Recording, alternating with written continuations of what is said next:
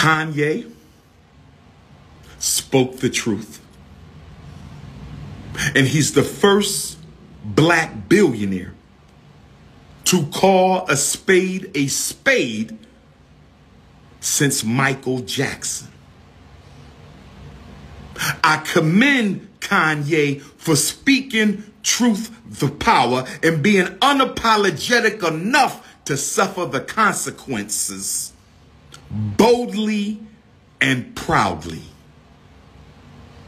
Shout out to Kanye.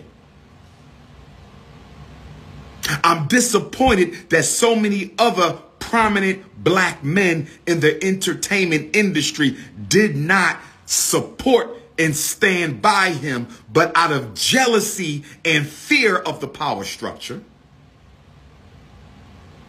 out of jealousy and fear of the power structure, they would not back Kanye. Instead, they condemned Kanye in order to earn a seat at their master's table. Instead of backing Kanye, they condemned Kanye in order to earn a seat at the master's table. They know Kanye told the truth, but because their money is tied up in the power structure, because their money is tied up in the power structure, they helped the power structure hang Kanye out to dry. With that being said, I need Kanye to be a little bit more consistent in his political position. He's very bipolar in his political conversation. Kanye West is very bipolar in his political position. He's a political schizophrenic. And what do I mean when I say brother Kanye is a political schizophrenic? Someone who's schizophrenic has a split mind, almost a split personality. One day he's talking about he needs to stand up for his people. The next day he's praising Donald Trump. One day he's talking about I need to stand up for my people. The next day he's praising Donald Trump. One day he's talking about my black children being exposed to non black people, but then he's on a date with a new snow bunny. But then he's on a date with a new snow bunny. But then he's on a date with a new snow bunny. That's what you call politically schizophrenic behavior. That's what you call bipolar black power you want to struggle black, but you want to date white. One minute, Kanye is talking about these exploitative contracts that the white power structure has all the black entertainers under. And the next day, he's going to help Candace Owens' white husband open up a social media company. Come on, Kanye. Come on, Kanye.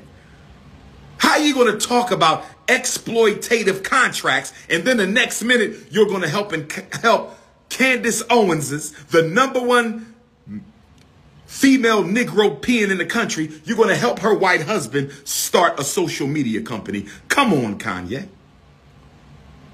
Come on, Kanye. So I need Kanye to make up his mind where does he stand.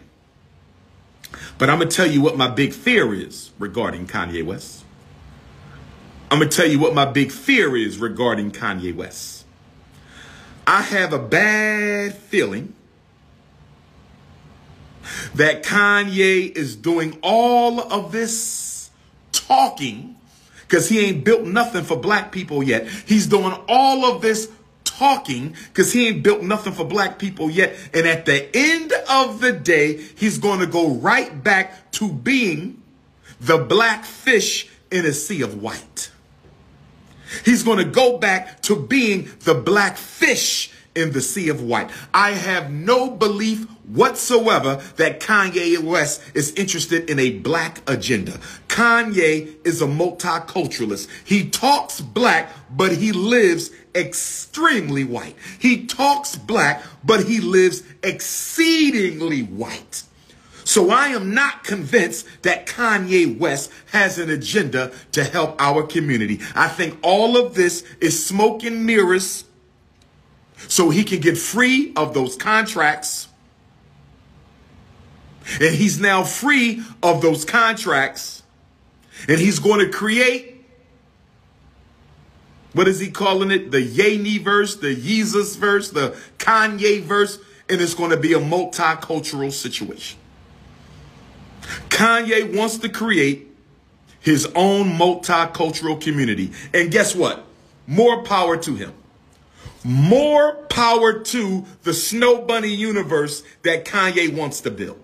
But that Snow Bunny universe ain't helping black America. That Snow Bunny universe ain't saving black boys. That Snow Bunny universe ain't doing nothing about black homelessness. That Snow Bunny universe ain't doing nothing about police brutality. I think Kanye is playing everybody in the interest of Kanye. I'm just being honest. I'm just being honest. I'm just being honest. I think Kanye is playing everybody for the purposes of Kanye. He ain't thinking about no black folks. He is not thinking about no black folks, ain't been thinking about no black folks, and ain't gonna start thinking about no black folks. Everything I hear him talk about is multicultural. Now, let me talk about the election for a minute. You got to read a newspaper a day. You got to read a newspaper a day.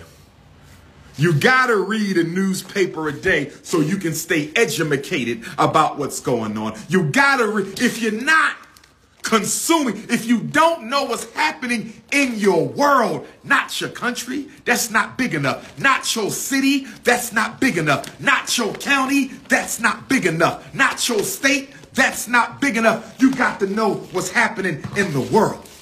I want to know what's happening in my state, my city, but also my world, brothers and sisters.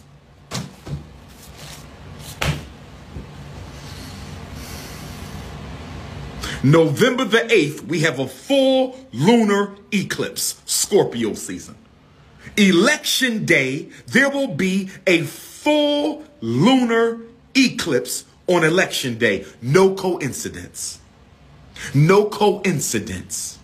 No coincidence. Hit the Cash App, dollar sign FDMG School. Hit the Cash App, dollar sign FDMG School. Hit the PayPal, FDMG Academy. Hit the PayPal, FDMG Academy. This election coming up is the most irrelevant election black people have seen in over 50 years. You have never seen an election ever in your life where not a single candidate for governor, not a single candidate for mayor, not a single candidate for state rep, not a single candidate for state senator, not a single candidate for council, not a single candidate for U.S. Senate, not a single candidate for the House of Representatives, not a single candidate for the U.S. Congress is pushing anything for African people in America. Not one of them. Not one of them. 435 congressional seats will be up for grabs. 435 congressional seats will be up for grabs. 435 congressional seats will be up for grabs, and not a single candidate is talking anything for black people. Don't let them use Kanye West as a distraction away from the fact the Democrats have nothing on the table for black people. Don't let them use Kanye West as a media distraction away from the fact the Democrats have nothing on the table for black people. Don't let them use Kanye West and Kyrie Irving. Don't let them use Kanye West and Kyrie Irving as a distraction in the media to take your focus off the fact that the Democrats have nothing on the table for African people November the 8th. King Kong is back, brothers and sisters. It is Pan Africanism or perish. It is Garveyism or get back. It is Prince of Pan Africanism forever.